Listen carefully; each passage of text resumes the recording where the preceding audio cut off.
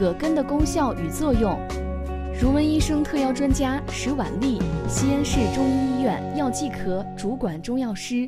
葛根解肌退热、透疹、生津止渴、生阳止泻，它主治表症发热、项背降痛。它具有发表解肌退热之功，治疗外感表症发热及项背降痛者，无论风寒风热均可选用。葛根治疗麻疹不透，它可以发散表邪、透发麻疹之功，用于麻疹初起、表邪外束、疹出不畅。